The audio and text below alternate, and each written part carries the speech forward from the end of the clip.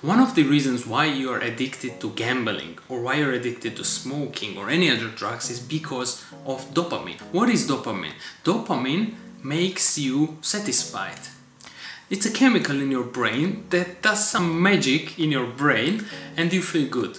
Now when you go and gamble and you know you put money on red color on the roulette and then the red comes, there is this happiness and excitement.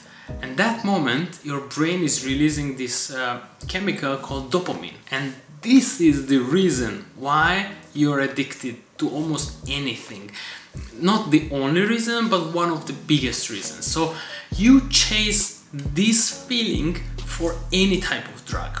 And over the time, this feeling becomes less and less satisfactory. So, for example, you put money on red color. In the beginning, you put, I don't know, 50 bucks, and then it, it, came, it was red, and you win some money. Now the dopamine is released, and you feel good about it. If you repeat this process over and over again, the satisfaction slowly goes away and it fades away.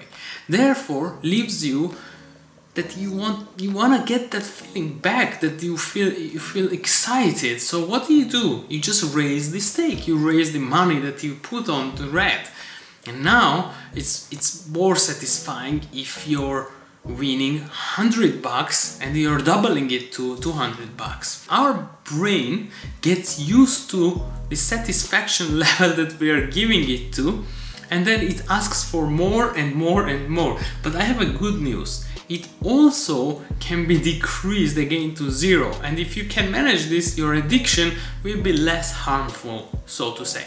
If you don't go back to casino, you don't play the roulette and you're not gambling, now this chemical is slowly recovering in your brain and then the next time you go, let's say you didn't gamble for two weeks and the next time you go, this feeling of 50 bucks, it comes back and it makes you excited again.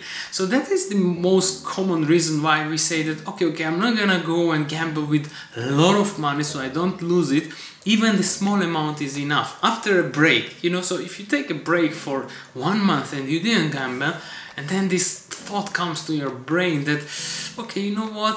Actually just 100 bucks i will go to the casino and i will play it and that's it. Even if i lose that's no big deal.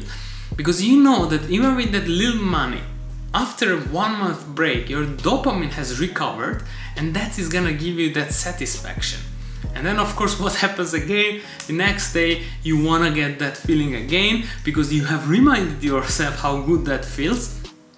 And and then you're chasing again and again and again. But eventually you are chasing that feeling and this is the problem in many many many addictions. Smoking is the same thing. You just take the physical part of addiction out of it which is the nicotine in your blood.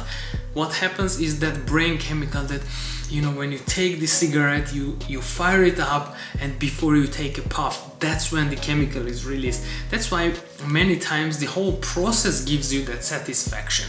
Not not the nicotine itself of course it is also addictive and the nicotine that is why smoking has two sides which is the physical part and the psychological which I always talk about on this channel. The psychological part is the dopamine related.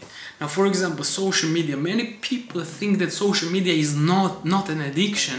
It's not a real addiction but it is without physical part of it because you don't take anything into your blood with using social media but you have the psychological part which is the dopamine. The same thing with watching porn. That's a huge one. Because when you're watching porn that, that you that gives you that satisfaction and your brain is releasing this dopamine and after some point it's not enough. So you watch even more hardcore porn or even something you want more and more satisfaction while you get used to it and you're not you're not getting uh, enough dopamine in your brain. I just want to bring an awareness to you and to public but you can get this dopamine from something else some other activity it can be sports it can be something fun that you hanging out with your friends it can be even drinking alcohol which you have to be careful with but you can replace one addiction with the other just by tricking your brain into into this satisfaction that okay i'm not getting it from gambling but I'm getting it now from from some other addiction. And eventually you want to eliminate completely.